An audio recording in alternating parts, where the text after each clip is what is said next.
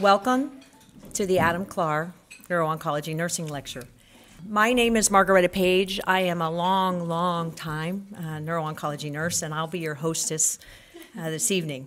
Um, I always like to begin uh, this lecture just um, telling everybody a little bit about the story about why we're here, um, and just tell you a little bit about Adam. Um, for if it wasn't for Adam, his wife, and his family, um, we wouldn't be here tonight for this lovely celebration. So in 2004, Adam Clar was diagnosed with brain cancer. He was 25 years old. And in spite of that serious diagnosis at a very young age, he chose to face the challenge by staying positive. He wanted to move forward and he made sure that he enjoyed each day he also committed to continuing to grow and develop and set new goals for himself. And one of those uh, was to become a registered nurse. So, 10 years later, 10 years after his diagnosis, Adam uh, graduated from the Samuel Merritt uh, School of Nursing. He was cum laude, and he started his career um, as a school nurse, and then he moved um, down to Fresno, where he worked at the community hospital as a cardiac nurse. And then, then his next job was to be in Santa Cruz. He had what he described as his dream job at Dominican Hospital. And unfortunately, his tumor required some more surgery at that time. And sadly, about six months later, he passed away. Um, but one of the things that Adam knew, he wanted to set up um, a way to give back to professional caregivers. Um, so that we could continue to uh, grow in our knowledge about neuro-oncology nursing. Um, and so he and his family got together and started this fund so that the neuro-oncology service here at UCSF could offer a lecture in his name uh, for nurses and allied health professionals. And what's become of this lecture, I think it's really wonderful, is it has become an opportunity for people to come together from all the different disciplines around UCSF.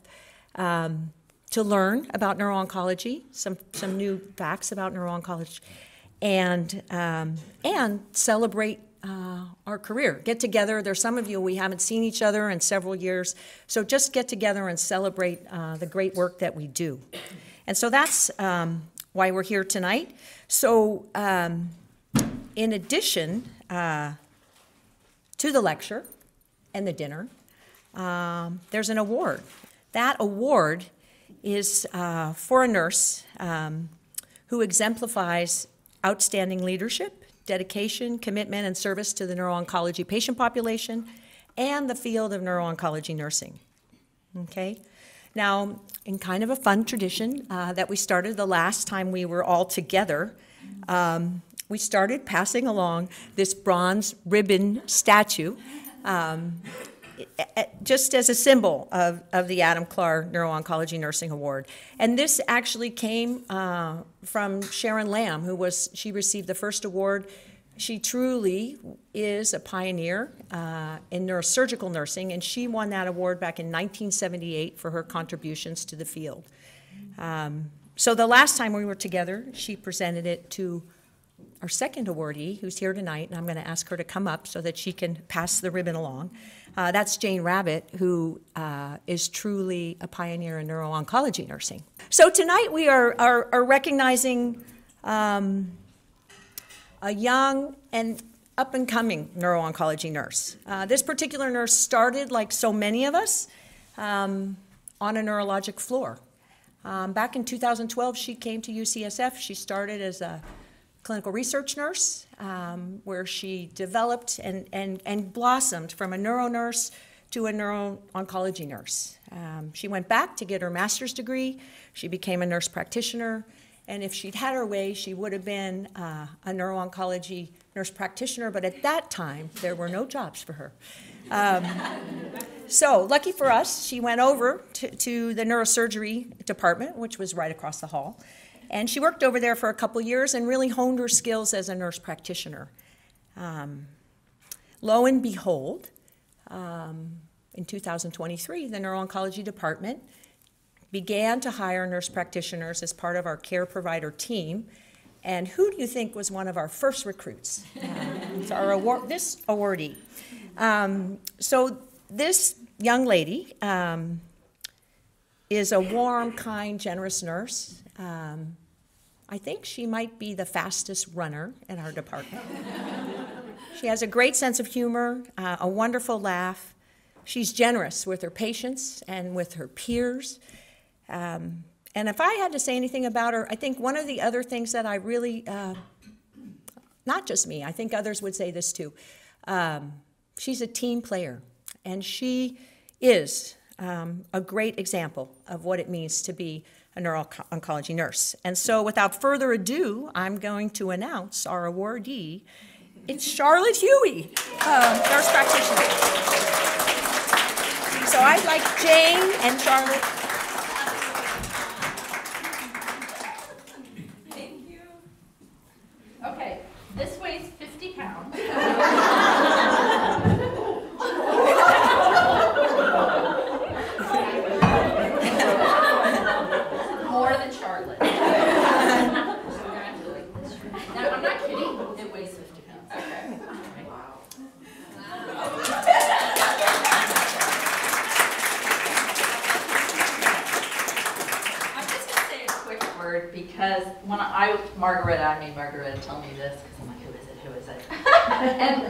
about Charlotte and when she came to neuro-oncology, she decided she had another career uh, in marketing, advertising, advertising, advertising in New York City.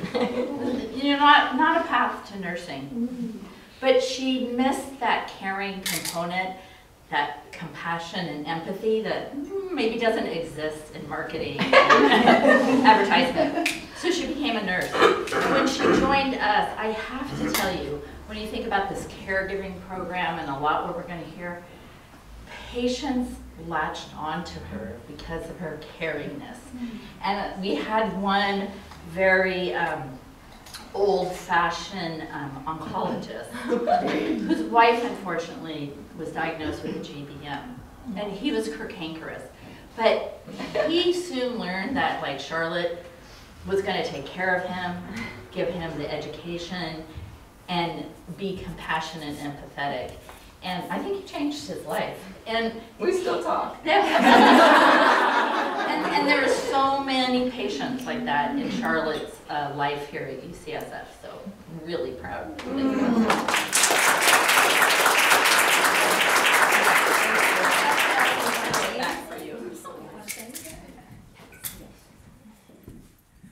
Thank you so much. Um, like um, Jane and Margaretta said, uh, I joined the department in 2012, and um, I didn't really know. I, I, had been working on the floor in New York in the neuro ICU.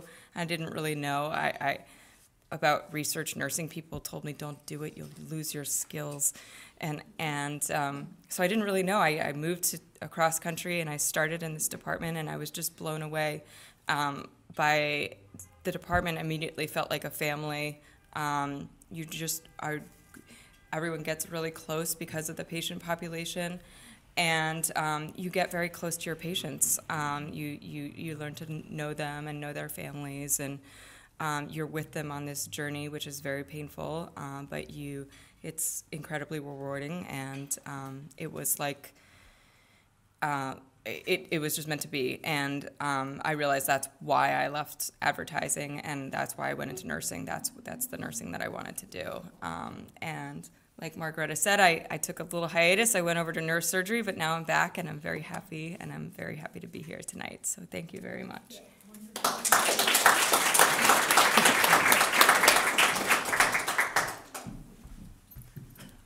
Okay. Um, so let's talk about the program. Um, so tonight we're going to have a series of four short talks. Um, and they're going to highlight uh, some of the unique things that are happening here at UCSF. Charlotte's actually going to tell us about one of the most exciting new treatments uh, that's come along for brain tumors in a long time. So we want you to all hear about that. And then we'll hear from Dr. Chris Weyer Jamora, um, who uh, will share um, some of her work uh, in the neurocognitive clinic. um, about helping people get back to work. Uh, particularly brain tumor patients after surgery sometimes struggle, um, and she'll tell us a little bit about her work and how we help people do that here at UCSF. Um, then we'll hear from Naomi Hoffer, um, who is the manager, the program manager of the Sherry Sobrato Survivorship Program here at UCSF. She's got a great story about how our young adults, our patients who are young adults, are supporting each other. And then we'll wrap it up tonight uh, hearing from Dr. Abby Marks, who is a clinical psychologist and the widow of a former glioblastoma patient uh, that we took care of here. And she started uh, the Milton Marks Family Camp, which is a novel intervention uh, for families with a parent with a brain tumor. She's going to tell us a little bit about that. And um, some of you out there have volunteered there, and maybe after you hear about it tonight, you'll want to volunteer there too. It's a great, wonderful opportunity uh, to be with our patients and family. So we're going to run through four talks. Um, I'm not going to, we will hold questions till the very end if that's okay. Then we'll have evaluations and we'll go home. Okay? Um, I do have one little thing that the Department of Nursing asks us to think about when we host an educational event now here at UCSF. And that is just to recognize that each one of us um, comes to our work and into our roles from different places. We're all bringing a different uh, perspective. Um, and I think that makes our, it interesting. Um, and we have to be aware that because we're all coming from different places, we have biases and those biases may impact our ability to provide care. So we just ask as you listen tonight to everything that has that we're talking about, maybe just take a moment to reflect on who you are um, and some of those biases, and just acknowledge them. Because I think as we recognize those, that will allow us um, perhaps to take better care of our patients and families and improve their health outcomes. And so without further ado, I'm going to turn it over to Charlotte Huie.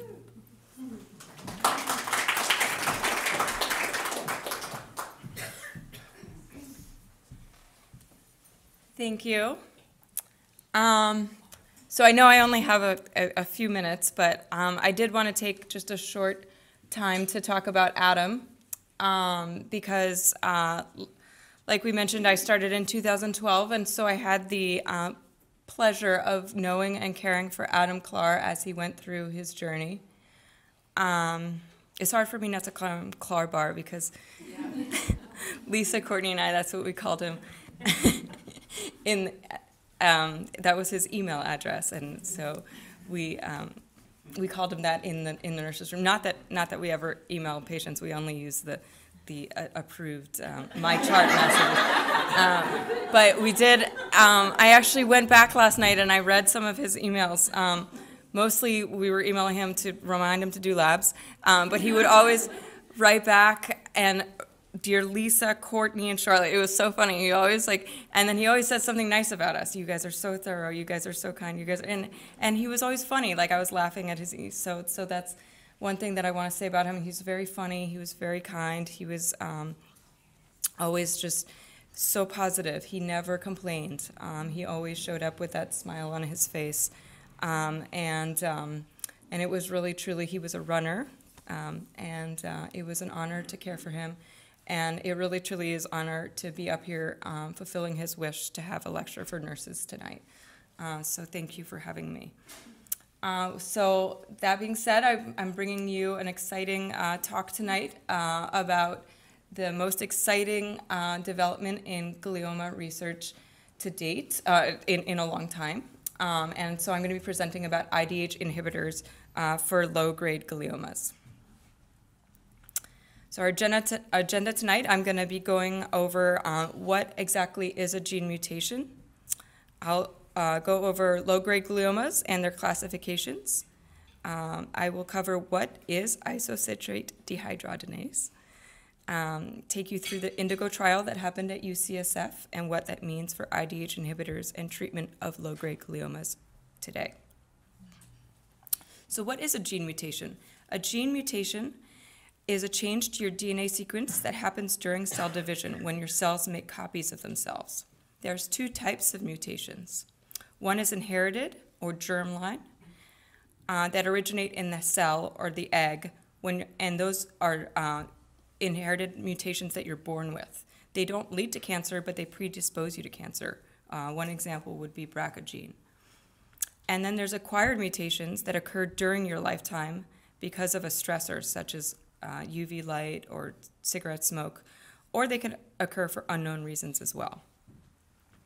One single acquired mutation doesn't usually lead to cancer, although sometimes it can. Sometimes it can just be one mutation. Usually it's multiple mutations that eventually lead to cancer, which is why your risk of cancer increases as your age goes up. So genes mutations can happen in three different ways. Uh, they involve the alteration of a DNA nucleotide. This can happen as a result of one of the following either a substitution of one nucleotide, the insertion of one or more nucleotides into a DNA sequence, or the deletion of one nucleotide. And this drawing, I thought, showed it pretty well. Low grade gliomas are common malignant primary brain tumors in adults. They're categorized by histologic and molecular characteristics, specifically the IDH mutation. There's two types astrocytomas, which are defined by IDH and ATR ATRX mutations. Oligodendrogliomas are defined by IDH and 1p19 co deletions. The median age is pretty low, it's 36 to 46, 45 years. Uh, low grade gliomas are slightly more common in males, and the median survival for now is 5 to 15 years. So, low grade gliomas used to be defined under the microscope. Then it became clear that something else was going on because the, varied, the outcomes varied so much. In 2016, the definition was redefined based on the Cancer Genome Study. IDH mutation was identified, although those who listened to Dr. DeGroot's lecture yesterday, it sounds like it was identified even uh, uh in 2009. So, but IDH was both a strong prognostic factor, how patients were going to be doing, and a target for novel drug therapies. In 2021, the definition of low grade glioma was redefined based on both histology and genetic profiling. This chart shows the 2021 classification of gliomas. At the top, you will see the importance of IDH. On the left, you'll see that if a glioma is IDH wild type, it's automatically a glioma now.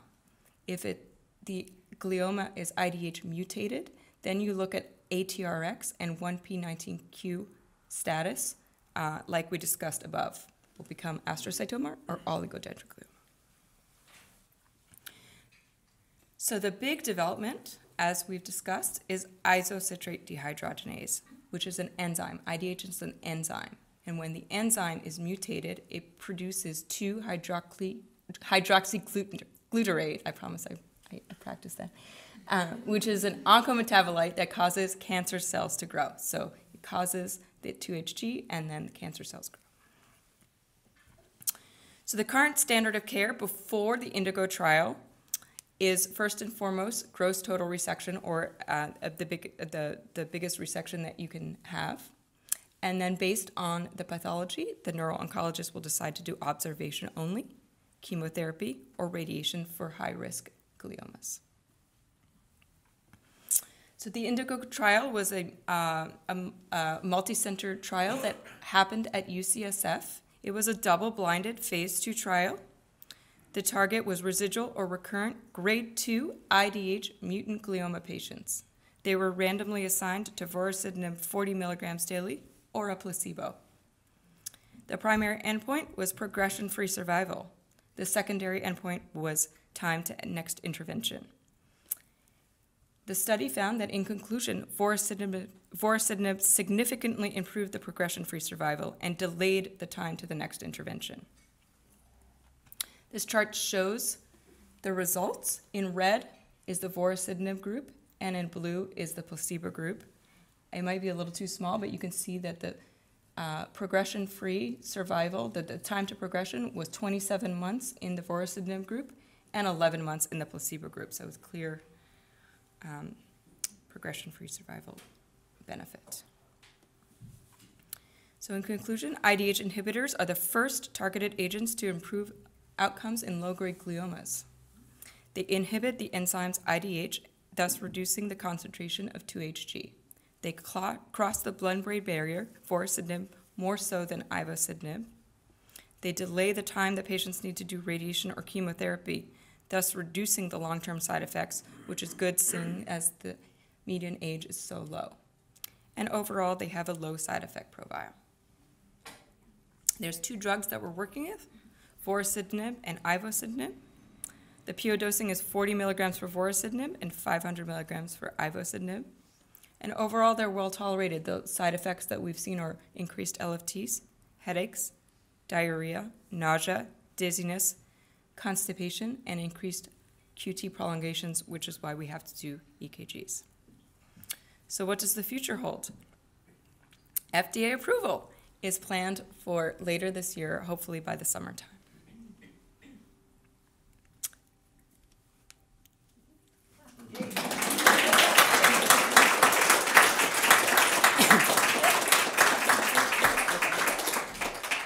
Well, hi, folks. It's so nice to see you today. My name's Chris Weyer Jamora. I um, I'm the division director of the newly formed Neuropsychology and Behavioral Sciences Division. But before all of that, I was a nurse and worked as a bedside nurse for a long time.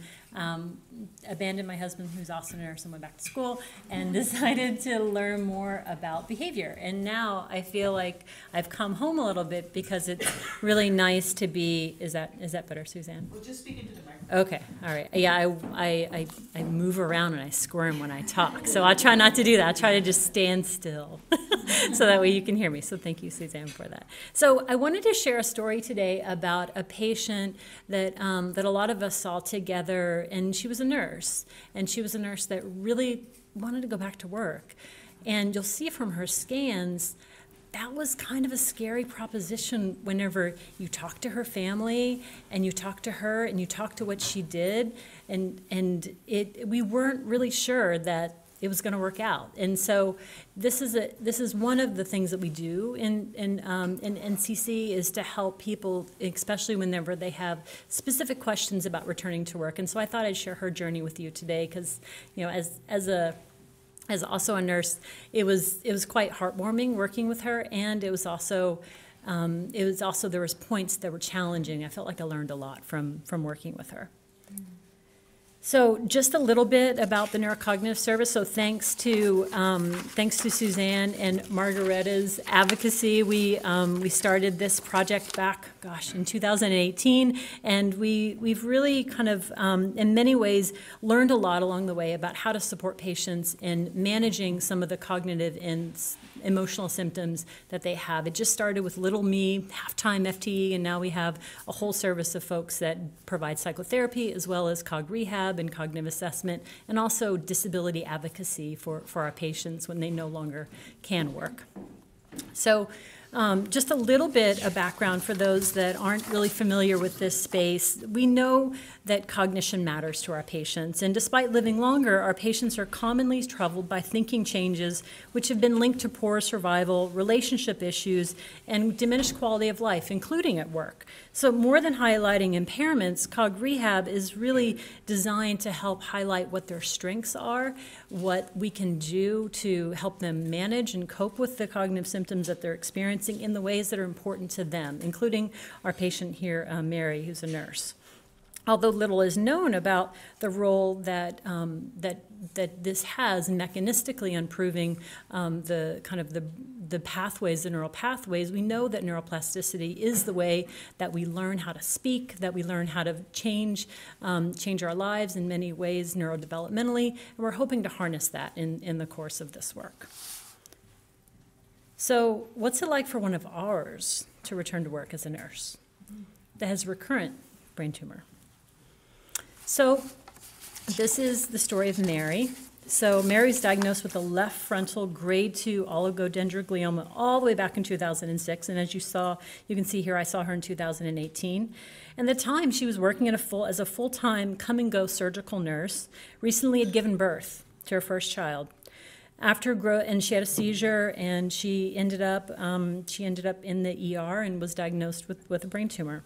After gross total resection, she was able to do rehab, go back to work full time.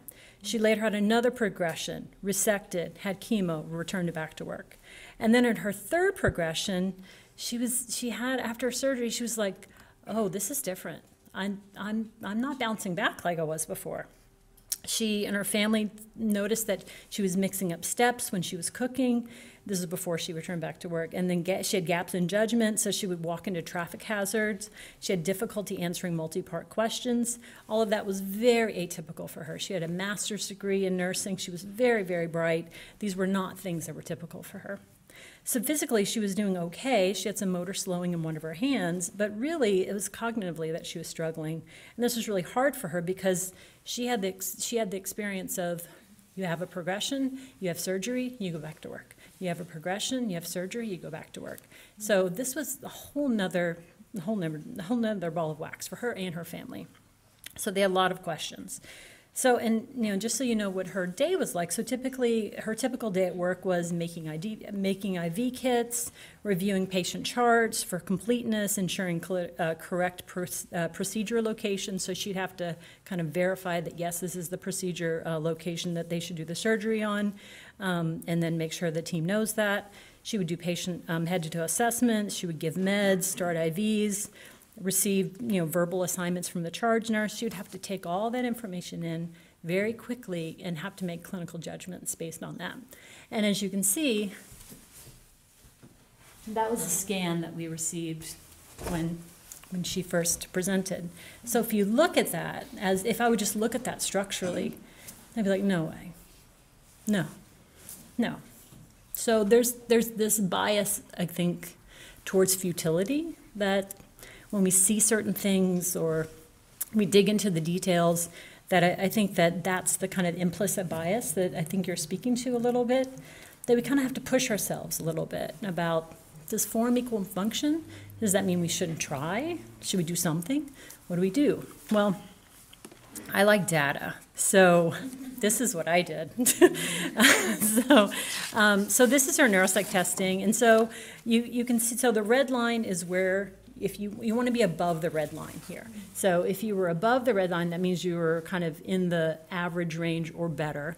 So you can see here, she had a lot of difficulties in terms of doing tasks in sequence. She forgot steps while she was doing them during the testing, which was what we heard from her family. And this was particularly, and it was worse when she had to do things quickly and when she had to go between two things. So anybody that's worked as a nurse knows that you've got a million things going on. You don't just have two things going on, you have multiple things going on. Um, and that it's particularly problematic because she would be required to do things in a sequence. There was high consequence if she got it wrong, and that we, we needed to be able to be realistic in terms of the demands that she was going to be able to be faced. And she also said had some clumsiness in her right dominant hand which was hard because she was going to have to start IVs, right? So that was another kind of piece to this table. Now, her judgment for hypothetical safety situations was excellent. So she had really good fund of knowledge, but if she tried to implement those intentions because she couldn't multitask, that's when it kind of fell apart. So she she would she would look good on like just brief conversation, but whenever you kind of dig dug into the details a little bit, you know, she she even said, "Yeah, I, don't, I just don't I don't feel safe to, to go back and, and work work as a nurse and to help and to help my patients." So, two months every week she would come in. I think we became good friends by the end of it. So what we started with is trying to help understand well what were her strengths? What was she good at? What what was her job? How could we break apart the actual job and take out the elements that would require her to multitask? Did she have to actually go back to her job as it was? Could we do some workplace accommodations so that way she could be precepted again on things that she could do in rote ways and not necessarily be put into back into like a bedside nursing position. So that's kind of what we ended up doing. So we did lots of um, we did lots of simulated practice. She had this structured nursing assessment. I remember she and I would sit down with her paperwork that she would bring from her hospital, and we would do this structured nursing assessment. And I would be her patient, and we would go through it over and over and over and over again. And then slowly but surely, I faded away with the structure and the guidance that I was providing, and that she essentially started off as it being all she could do was the checklist. That's all she could do. She would just do the nursing assessment and the checklist, and then finally it got to a point where she could do that without any errors. And then we'd slowly but surely kind of add new things on. And so, um, and there was also lots of memory strategies we would teach her too, how to remember things and how to organize herself, how to not get into situations where she had to multitask. And could her work accommodate her so that way those aspects were taken out so she could still do what we started with was her calling patients ahead of the surgery, um, the surgery date, and that she would do the pre-surgical checklist. And that's really what she ended up being able to go back to performing is that pre-surgical checklist as someone else was sitting next to her, precepting her and watching to make sure that she was doing it accurately.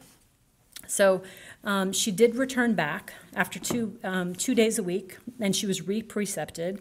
And she just kept to these pre-surgical televisits and then using the standardized tool that we practiced.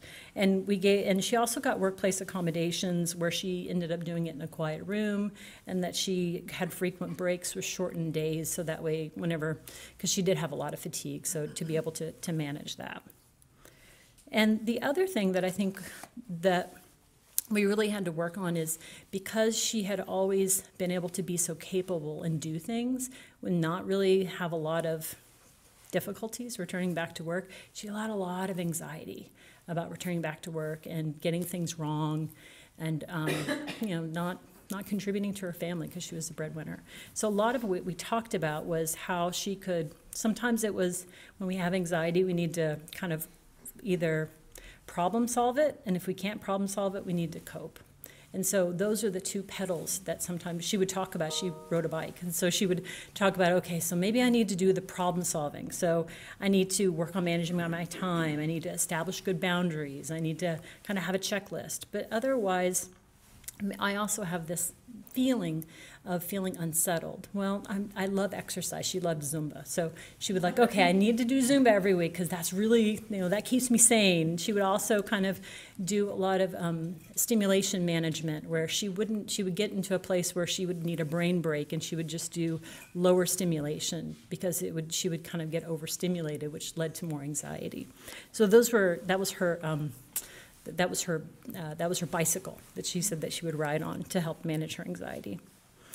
So I guess my question was, did it actually like change her cognition, or was it just the tool, teaching her over and over again? Well, the testing would say that actually her cognition improved by teaching her strategies to improve her executive functioning and improve her attention and concentration and her verbal learning. There was there were some specific strategies we taught her that those things did improve above and beyond practice effects, and um, and I think it showed that she actually was improved um, even after she she started with that that standardized tool, but then she went and you know she was able to go eventually she was able to go back to her usual work, work as a come and go nurse and, and be, work at the bedside. So that requires better cognition.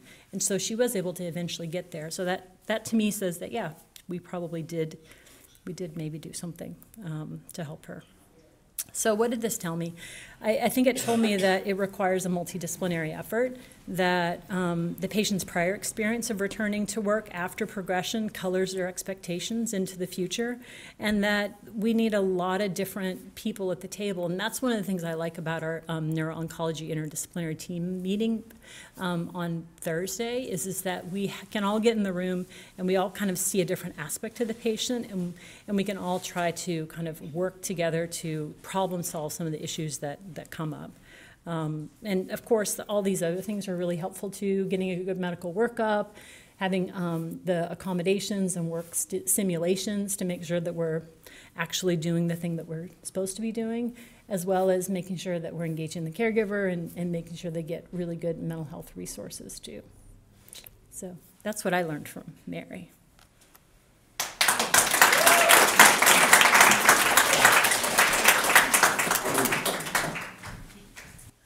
So much, Chris. I'm gonna, there we go. Um, and thank you, Margaretta, for putting together this wonderful event, and for all of you for being here. I'm just, I want to say that I, I really, um, I, I admire you in wanting to learn about this incredible population, because I've, I've gained so much personally in my life by knowing our patients. So I have the privilege um, of working as a program manager for the Sheri Sobrato Brain Cancer Survivorship Program under the wonderful direction of Dr. Suzanne Chang and with the incredible support of Mary Destree, who is also here today. And we've developed a number of supportive care programs for our brain tumor patients. And today I'd like to tell you about uh, one specifically which uniquely serves the needs of the young adult brain tumor population. So, our overall mission in the Sheri Sobrato Brain Cancer Survivorship Program is to enhance the wellness and quality of life of patients with brain tumors through a collaborative, multidimensional approach focusing on emotional, physical, and cognitive health. And what we really hope to do is not only support our survivors through symptom management and excellent medical care, um, but also to really help them build their best lives possible. And we're calling those thrivers. We're going beyond survivorship into thrivership. And so we've built our program on uh, keeping these two guiding questions in our mind throughout. What does it mean to live a great life with brain cancer? and how can we support our patients in doing so? So, as Margaretta was talking about earlier, the biases, we really tried not to have the bias that it's not possible to live a great life with brain cancer. We're, we were aim, we're aiming high and saying that it is. So I'd like you to think for a moment about what it might be like for a young adult living with brain cancer. So think about your own life as a young adult, and some of you are young adults right now, so that might not be difficult, but others it might have been a while ago. Um, what was important to you at this time in your life? What were you focused on? So you might have been dating and exploring significant relationships and questioning your identity. Um, you probably were on a pathway to completing your advanced education and starting to move ahead in your career. Continuing to uh, assess what it is you want to do with your life. And you might even have started your own family and starting to build your own life outside your, the, the guise of your parents' upbringing and really starting to choose how do you want to live this life? So imagine now what happens when your life is turned upside down because of a brain tumor diagnosis. You have a, a life limiting diagnosis that's mm-hmm. now changing you fundamentally from the inside out. And after treatments and, and never ending treatments and tests and continual medical care, you're starting to feel like you're getting farther and farther behind your peers. Everyone's moving forward, and it's feeling more difficult for you, like you're in quicksand. And so you might start to feel like some of these dreams that you had are, are getting out of reach and not possible anymore. And you might because people are, aren't really understanding you, you might start to feel really alone in this journey. So, as much as we can try to understand what it might be like for a young adult living with brain cancer, we can all, all we can really do, and hopefully all we can really do, is imagine what it might be like. The AYA community, which is defined in the literature as ages 15 through 39, constitutes only 14.3% of the brain tumor population, and that's really a minority within an already minority patient population. So it is difficult to find peers. Um, and as you may have inferred from that exercise, these patients have to navigate a very serious and negatively impactful disease while in the midst of exploring their identity, their relationships, establishing independence from their parents, pursuing education, developing careers, uh, planning new families, and supporting their families. And some are even starting to support their older, aging parents. So they often face unique and unmet psychosocial needs. As a result, the AYA brain cancer patients can experience a deep sense of social isolation, depression, and lack of connection to peers. And there are existing support groups, um, support groups for the AYA community, but they don't necessarily address the needs of brain tumor, the, the unique brain tumor needs. And there are existing brain tumor support groups, but don't really address what it might be like to be a young adult in that stage of their life dealing with brain cancer.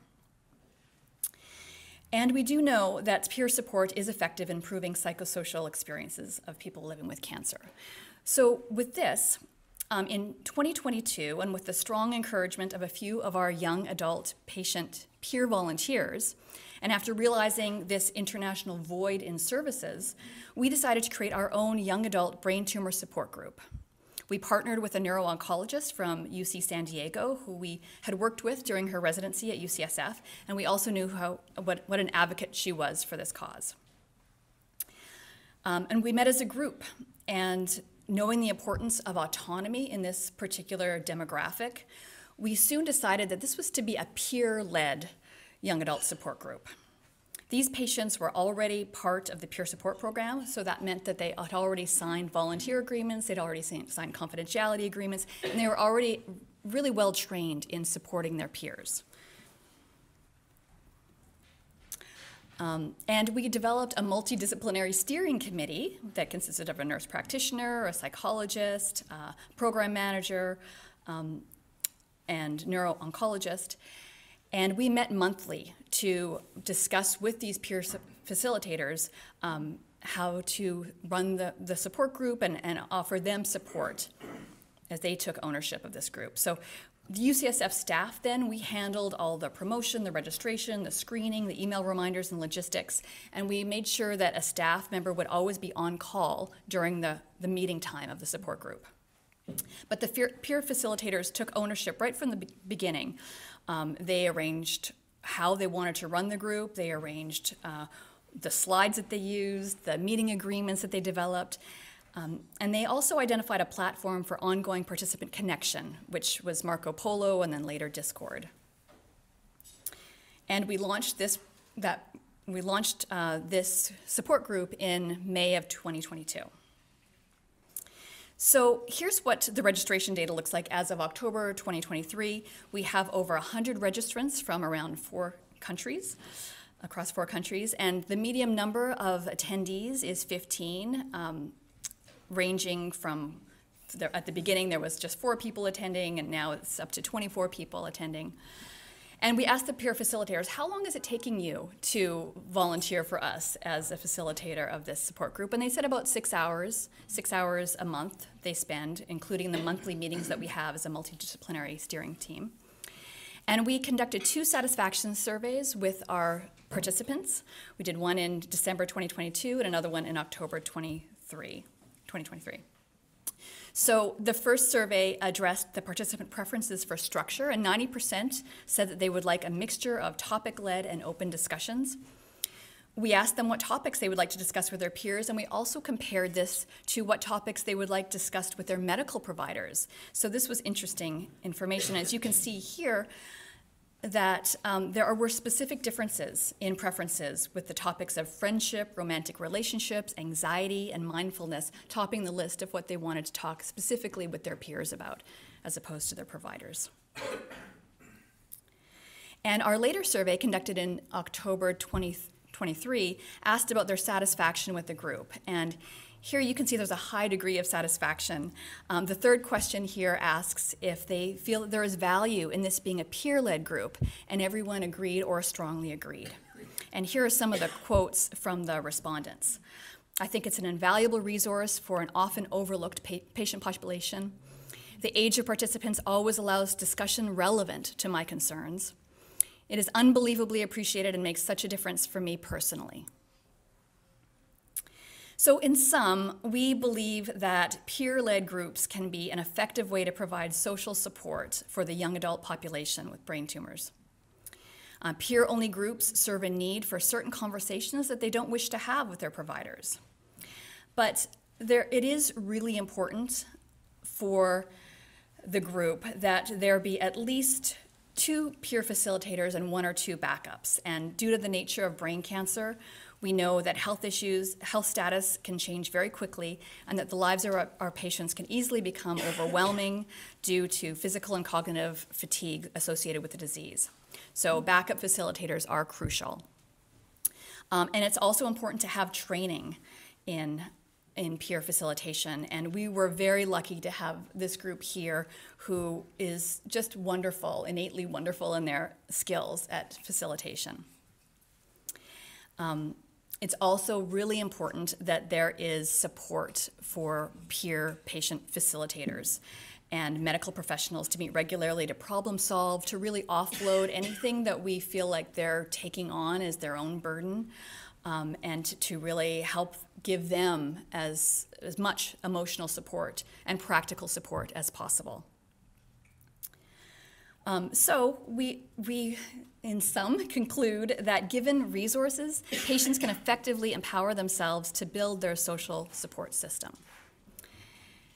And I want to thank you so much for your time, and also a special thanks to Dr. Schulte, Mary Destry, Suzanne Chang, and Liz Choi, and our incredible peer facilitators. Thank you so much.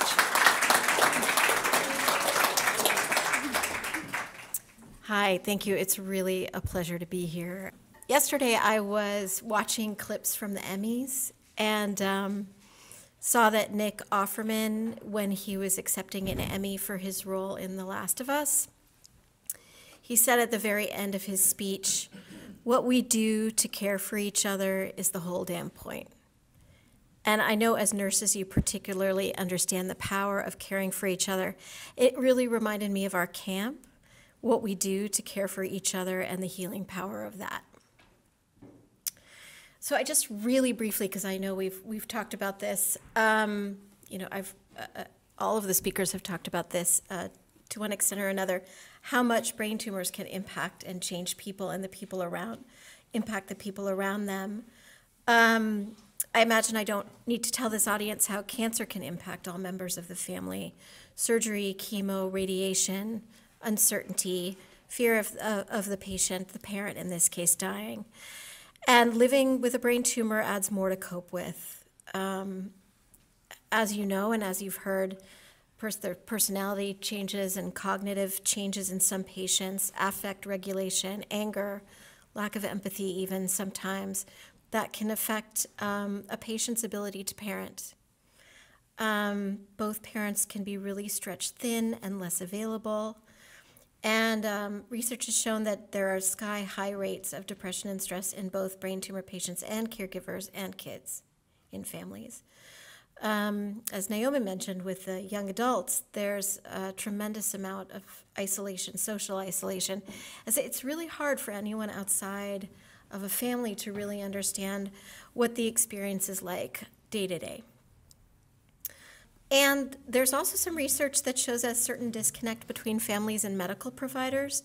Uh, many families don't feel that their doctors and sometimes nurses really understand how brain tumor affects everyday family life, um, um, as a lot of the visits just focus on cancer. Of course, those studies were not done at UCSF, where we have an amazing, amazing programs, but um, there still is a disconnect. And there aren't many f- programs for families with children. Um, they're really far, uh, few and far between. So, um, as you heard, my husband Milton passed away, uh, died in 2012 of a glioblastoma.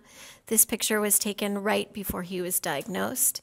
Um, and as you can see, our kids were really little at that time. They were four, four and eight. Um, and after he died, Margaretta Page and I started, um, decided to start this camp with the tremendous support of the neuro-oncology department. Um, each year, we serve 10 to 15 UCSF families with a primary malignant brain tumor. So, a little bit more just a background about what our camp is. It's an annual three day camp. Staff is there for four days um, for families with children living at home. Um, all of our families are treated or have been treated in the past at UCSF, and importantly, UCSF neuro-oncology staff um, participate in camp. You'll hear more about that later, but that's just turned out to be key to have families have their medical providers there at camp. Uh, then year round, we keep in contact with families. We have some year round activities, although the camp is the main event. Why a camp? Um, we really feel like there's something about camp and the immersive environment and the kind of intensity that it can create, even if it, it's only three days, it feels like a lot longer. Um, and that we could really create a whole environment where families are understood and feel like they belong. We wanted to have a place where people's basic needs were completely taken care of, which would allow them both to get a break from the stress um, and, and use that break to start to be able to connect more with their family members, with other families, and be able to reflect. Having that kind of breather really helps that. Um, and also, when we're taking care of their needs and anticipating their needs, they know that we get what their needs are, um, which can really help people feel completely understood and less alone. We also really wanted to foster connections between families and their medical team, and especially we wanted to give people a place to just have fun. Um, what can camp do? Um, it can really help lessen depressive feelings, feelings of anxiety and stress, at least temporarily, right around that weekend.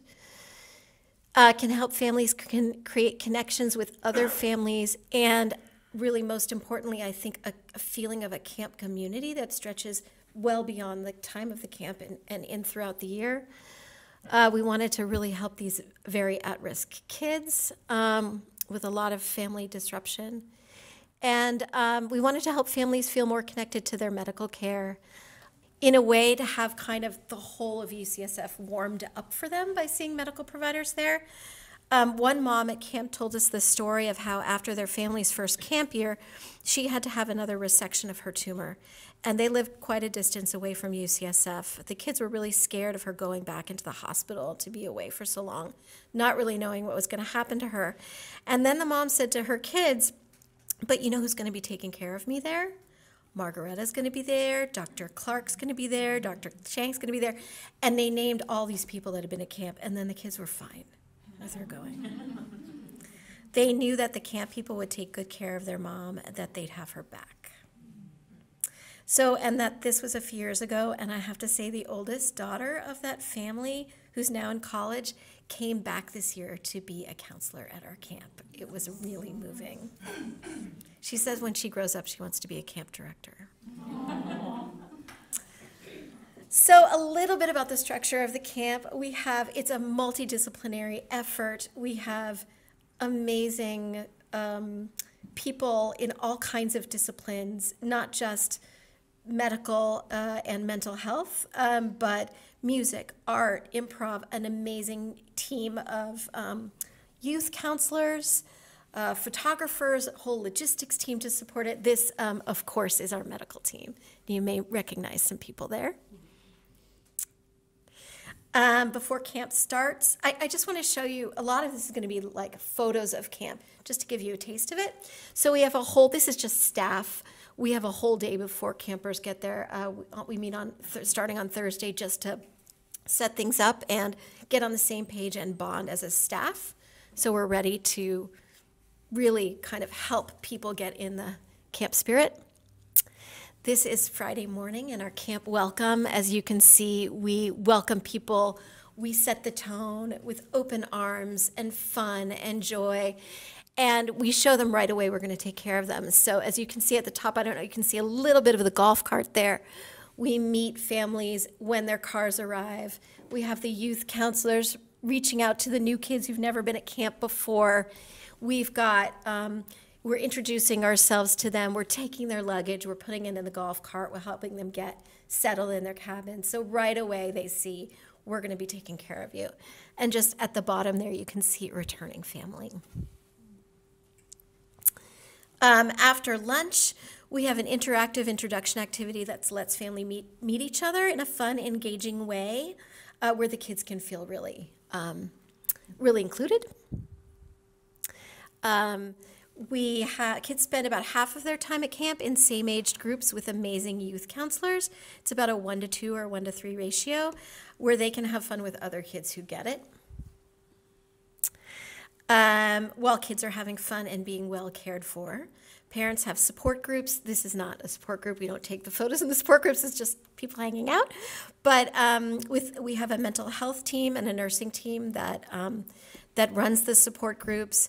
We also have uh, clinician, licensed clinicians doing couples meetings uh, with each couple if they'd like that. Uh, we have separate support groups for caregivers and patients. Um, and then um, those special groups uh, stay together and do either a team building activity like ropes or they do art or massage. Um, again, we don't have photos of this, but we do have hour long massage sessions on the massage table. We're really taking care of people here. This is just a little snapshot of what meals can be like.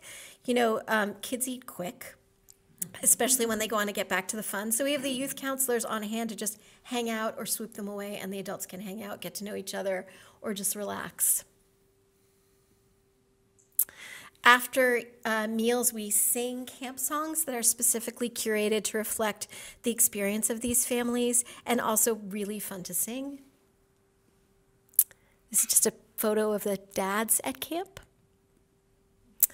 Um, kids bond with counselors and they bond with each other. And if you think about it, most kids have never known anyone except maybe their siblings who are experiencing what they are. Some teenagers don't want to camp at, come to camp at all at first. Some, especially, don't want to feel or think or open up. And it's really an amazing thing to see these kids, especially the adolescents, transforming throughout the three days, cracking open just a bit to let themselves be with e- each other, lay in a field of grass looking at the stars with their friends, and speak a couple of words about how they're feeling, and then know that they're understood and loved. Just wanted to show you um, more photos of the kids having fun at camp.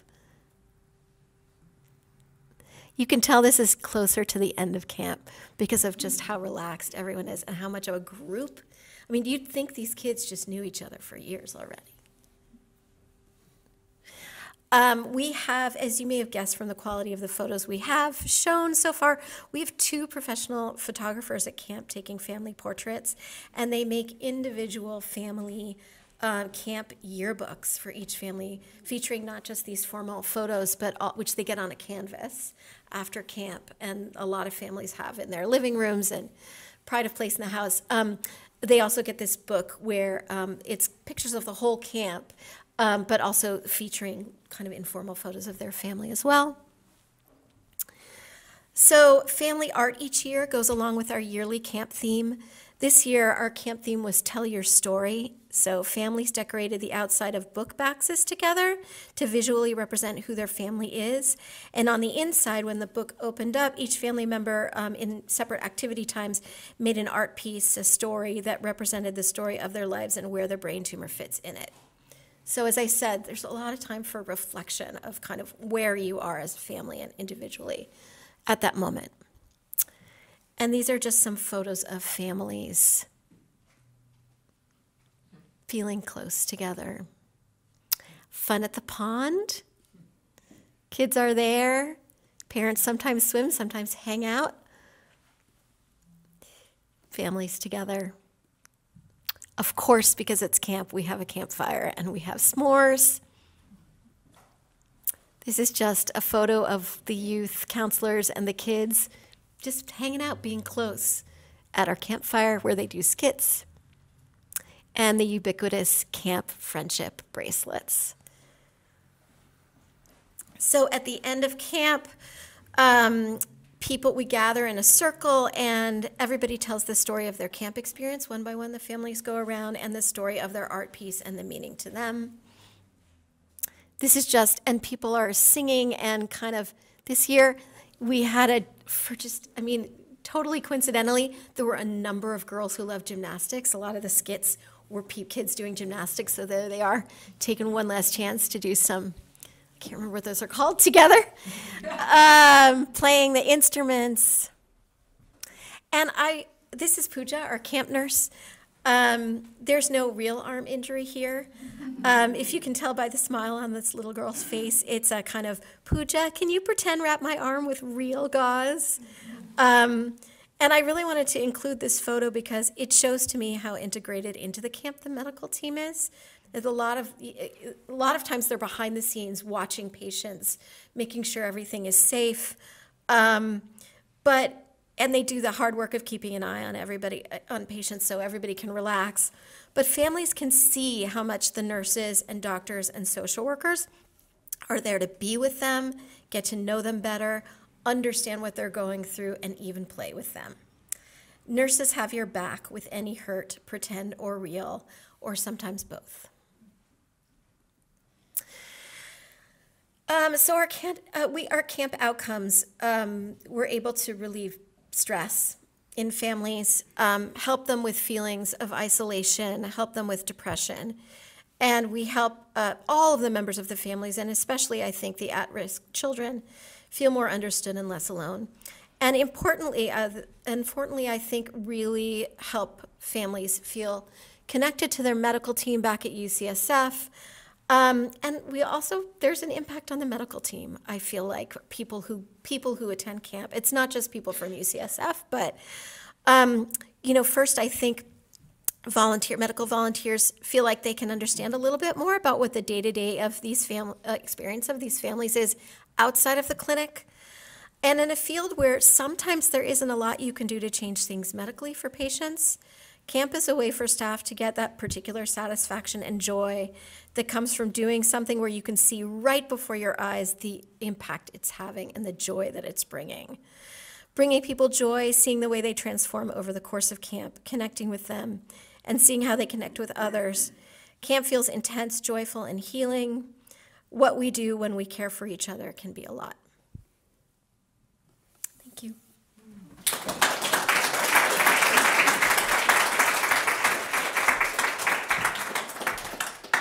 Thank you so much um, to our four speakers.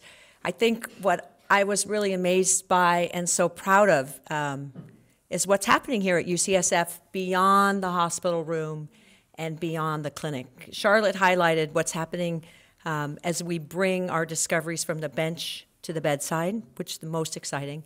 And then I think these other three speakers highlighted the really amazing, unique, unusual, holistic care uh, that we are providing here at UCSF for our patients. We are, we go around. We are one of a kind, um, and so I, I, I hope um, that just by listening them to them tonight, that you all um, just now know about these services, and and and they might be an opportunity as you take care of your patients going further, just to remember these things and link them to these services or participate in the camp um, or what, whatever it is that you're called to do. So um, I would like to invite all of our speakers back up to the front because maybe some of you have some questions, and so we have a, a, a we have a lot of time for questions. If you have any questions or maybe any discussion about any of the things we heard tonight. Yes, maybe I missed it. Where is the camp located? Oh, I forgot to say that. Okay. So, um, for the past few years, we've been at Walk, Walker Creek Ranch, which is in West Marin. It's about an hour north of San Francisco.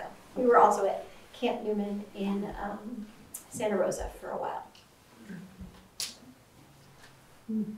How do you select the, uh, the families to participate in these camps? Actually, we really leave that up to. This is one of the amazing things about our partnership. We really leave, leave that up to the team uh, and then they're in the caregiver program. So I can talk a little bit about that. I think, um, so through the caregiver program, we're keeping an eye on the families that have children. So we sort of know who has kids, um, and have a running list. Um, and as it gets closer to camp, we send out, uh, a notice to our clinicians, to the doctors and the nurses who are also working with the families to say, hey, camp's coming, do you have anybody that you know that has kids that you think might want to come to camp? And we gather the names, and then we look at who's, we, we have, once our families come, they never, they come back every year. Yeah. So we have a group of sort of returning families, and then we sort of look at, um, the kinds of things that go into it, are our need, if we, if there, if we can ascertain a need, of course, everybody needs it. But we're also trying to balance sex of the patient, age of the kids, and diagnoses. So when they get there, there's, it's not all men or women, um, and that we have a nice balanced age range of the kids. What is interesting, I, I find this interesting, um, you would, this camp is free.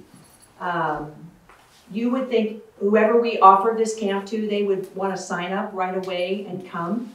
Um, But every year, we end up with about 11 or 12 families. We, it- even though we think it might fill, sometimes people have to drop out because of illness or change in their medical condition. But a lot of families are sometimes afraid. They haven't really had these conversations even with their kids. So the thought of coming to a camp to talk about the illness is too scary. And so sometimes people put it off and think, oh, I'll come next year.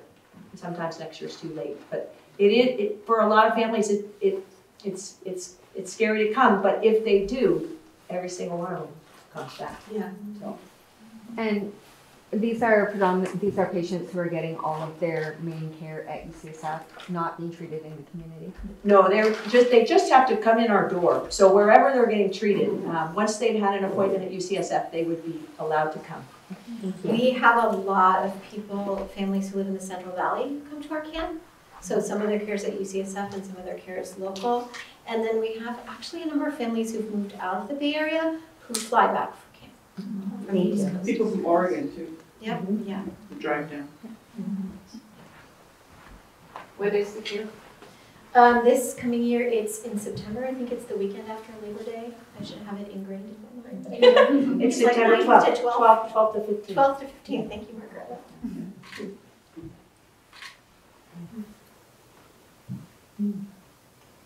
So how's Mary doing? She's still working Great. full time too, which is really amazing.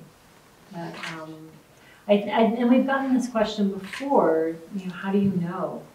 I mean, I, I think that some of it is you know through the rehab if they are slowly but surely improving. And not everyone has a treatment response. And so I think that those are some of the hardest conversations that you have to then start talking about income replacement for disability and, and other things, which I think is another unique part of our program is, is that we do help them with that, um, with the social work team and other people, because sometimes that means a world of difference to patients, that um, that they can still contribute financially to their family and leave their family in a good place.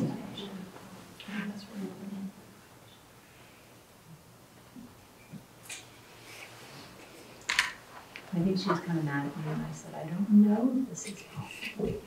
But I think we be friends over the course.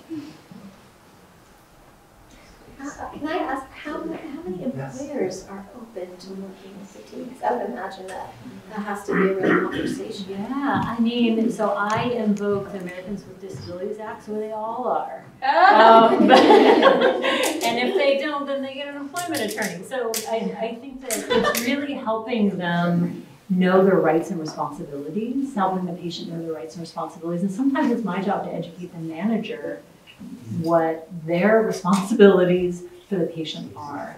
Um, and so sometimes I'm having those meetings with the patient and their manager and me, which I think initially can be quite challenging um, because it's new for a lot of managers too. They, they've never had this sort of thing.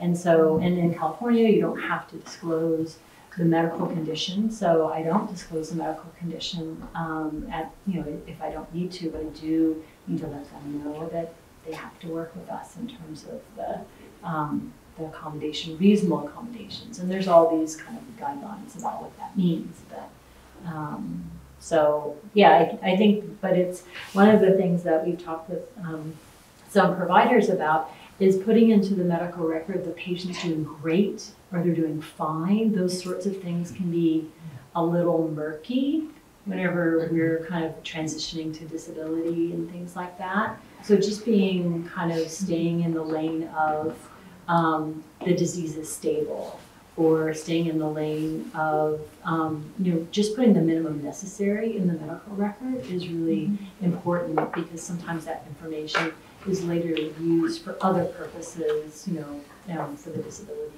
process. So just being kind of aware that we want to just try to be mindful that for many patients, it's not if they go on disability, it's when. For a lot of patients with glioma. So we want to just be mindful of, of that kind of backward engineering and just putting minimum necessary in the medical record for that purpose. I had a question. You work with employers and educate them on what to expect or, you know, what they're going to be facing with a returning employee. When Adam was first diagnosed, he was working for the Oakland Athletics, baseball. And, um, he, his, uh, he got tremendous support from the team, from, from the back off, from the front office. Um, they were all generous and, and, and, you know, how are you doing, doing cards, you know, hope you can come back. Um, he got signatures from, you know, baseball, you know, uh, baseball players as, as well as, uh, some of the radio personalities. You know. Um, And when he was, uh, uh, when he was, uh, uh, when he went to, uh, John Muir, you know, for the, for the x-rays and the MRIs, and they, uh, put him in this room, and at the time, John Muir Medical Center was one of the big uh, contributors or sponsors of the Oakland A's. So they got him a big, big room. But, yeah. He deserved it. He deserved it, but it was, um, you know, when he came back, uh, he got a lot of support, he had a lot of friends there. Um, because, uh, everybody had these CRT screens back then. His eyes couldn't take that, so he went and got a, uh, do you remember, he got a, uh, a flat screen. He wanted a flat screen, because it doesn't flash. And, uh, you remember that? I think so. Yeah, so. He had There- not, yeah. Yeah, but he, um, I, I remember, Elizabeth, you can probably vouch, you know, the, the support he got from his friends, from, you know, employees and other people, you know. I think it's so important. I really feel like that you don't have to get into an adversarial ADA conversation, right? We could just like, let's, let's just figure out the best way to support this person who's a huge asset to your company to do the thing that they do best and that you need them to do. I feel like those are the best kind of conversations that I have with managers. And, you know, I, I think that some, sometimes it goes really well and sometimes you know, it really is like I, I think that's the nice part about having um, objective test data is I I have a way to it's not just my opinion or what I've talked to him, but I've, I'm able to kind of have that um, have something grounded in, in some in some data. But I don't think that by and large there's been a lot. I think it's a big gap that there's not a lot of employers that have that expertise or that knowledge. Oftentimes UCSF is bringing that to the kind of return to work process by having those meetings with the managers and HR. So I'm oftentimes in meetings with managers and HR and union stewards and all of those people to try to So they understand what's going on. yeah, yeah. And so trying to help them know that there are things that can absolutely be done here and, and we, and let's just make it so that way everybody has a fair shot at getting this job done equally or equitably. Um, and it doesn't mean that they, they can't do that just because they have a medical condition. And for some people, it's really important for their identity, right? They've mm-hmm. worked like Adam or other people or married. She, I mean, she was, she went to school for so long and had already worked so long as a nurse, and that was not something, you know, just who she was, the person. She wasn't willing to give that up. And that, I think that if we would have not tried to give her some way to do that, that would have been really, really negatively, it would have negatively impacted her mental health and her quality of life. Mm-hmm. So, so, and it worked out. Can't say it always does for every patient, but um, we were glad to be part of the process. There's so much shame that's sometimes part of the picture with brain tumor survivors. And just to be able to give them back that part. Yeah. It's a nice kind of diversion from thinking about your illness. I'm like, no, no, no, I'm just going to work. And that's one of the things we found with the peer support program and the, and the peer connection is that they've said that oftentimes there's a big gap between the norm, the normal neuro norms they call them, um, where you have to kind of explain to them, you know, like here's what it's like for me having brain cancer. But when you're with your peer, you're already on this level, and so you can just start talking about other things, deeper things, you know, without that understanding. And um, we found that it really is helpful to have have those kinds of connections and not feel so ashamed.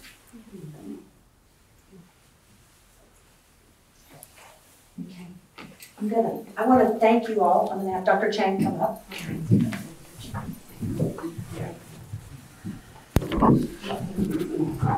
So thank you all so much for, for coming tonight um, to honor Adam and his family for this wonderful tribute to him. Um, I think that uh, I want to especially thank the speakers, wonderful, and especially to Margaretta, who has worked really hard to think about what is important for you as nurses, um, especially taking care of our patients in the hospital. You know, you you tend to see them in this sort of small part of their lives. And understanding what it is that we do in our clinic and how we try to help the patients and their families. So I think Margaretta spoke about our caregiver program. We have the only caregiver program, I think, in the world that's dedicated to our patients' families. Um, so, so to be able to do that and offer those things is something that you can think about when you see the patients. If you recognize that they might have some issues, please reach out to the team. We have so much going on in our survivorship program. You heard about the cognition, but we have exercise, we have integrative health, we have so many other things. Our social workers are amazing. Our nursing team, as you all know, is amazing. So um, it's part of sort of really integrating everything that we do uh, as Margaretta said, this holistic approach to taking care of patients. So I want to thank you all for coming, and especially to thank Adam's family, Liz, his wife, his parents, Liz's mom, for coming. And um, you know, the the fund is a go a fund me. Is that what you call it? GoFundMe. Um, it's a fund, yeah. It's like a. Well, it's a fund through UCSF. Yeah, but the families and friends just keep putting us into this fund, which is fantastic. And this will allow us, I think, to have this annual event, you know, for in perpetuity is what I'm hoping. So, and we would love to see you again all next year. So, thank you very much.